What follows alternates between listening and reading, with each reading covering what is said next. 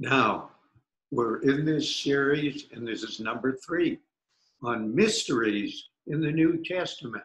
My Bible is open uh, now to First Corinthians chapter 2. And it says, verse 7 we speak the wisdom of God in a mystery, and it's hidden. Uh, oh my, hidden. Why? He says, which none of the princes of this world knew. The politicians didn't know the mystery. not, none of them, no. And it says, eye has not seen nor ear heard. The scientists didn't know. The historians didn't know. The philosophers didn't know. But a mystery in the Bible is truth that has been concealed but is now revealed. How? How is it revealed? Well, it says here, verse 9 of 1 Corinthians 2, uh, very, very clear. Verse 10, rather, has revealed them unto us by his Spirit. The Holy Spirit reveals these mysteries. Well, what's a mystery? It's new life, new life in Christ uh, Ephesians 2 1. And you has he made alive.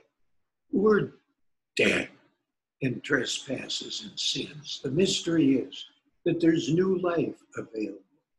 And also that there is a new dependence.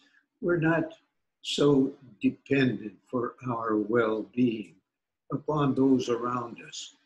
For we've all been disappointed by people, let down by people, betrayed even by people. But God never. It says in 1 Peter 5 7, casting all your care on Him, for He cares for you. And we have not only uh, a new life and a new dependence, but a new hope. For it is uh, in Romans 15 13, the God of it says we have abundant hope that we never need despair about tomorrow or the future at all. And then a new body. Oh my. Uh, one doctor our family had said everybody over 40 hurts hurts someplace. Well, maybe true. Yes. And what do doctors do for us?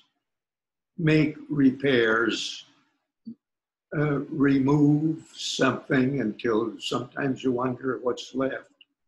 No, but First Corinthians 15, a new body, brand new, perfect, awaits every believer. Uh, that's the mystery made known.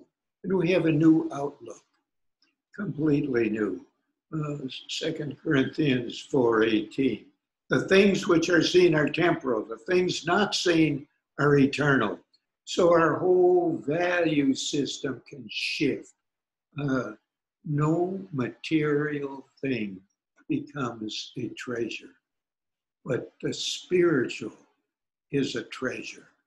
And so the mystery is that we have a whole new life through Jesus Christ.